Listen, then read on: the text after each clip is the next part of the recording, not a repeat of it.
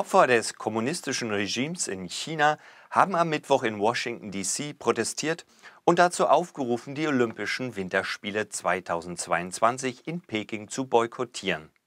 Es geschah vor dem ersten Treffen des US-Außenministers Anthony Blinken mit chinesischen Top-Diplomaten.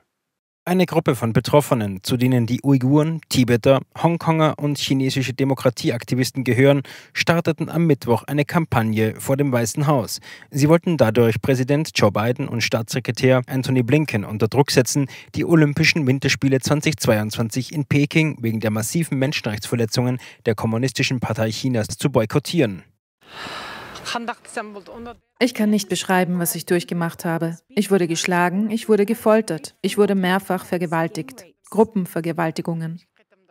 Peking ist die erste Stadt, die das Recht erhalten hat, sowohl eine Sommer- als auch eine Winterolympiade zu veranstalten. Opfer, die aus den Gefangenenlagern des kommunistischen Chinas geflohen sind, finden es inakzeptabel. Die erschreckende Menschenrechtsbilanz des Regimes hält schon seit Jahrzehnten an.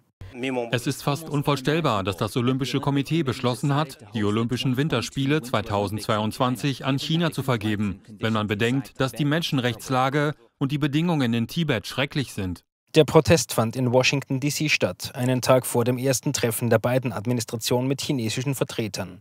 Es wird erwartet, dass Pekings Menschenrechtsverletzungen dabei angesprochen werden. Der Rückzug von den Olympischen Spielen wäre ein wichtiges Statement.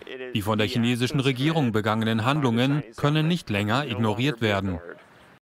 Angesichts der wachsenden Kritik sagt das Internationale Olympische Komitee, dass es nicht den Einfluss hat, politische Probleme in China zu lösen. Es hat jedoch einen Beobachterstatus bei den Vereinten Nationen.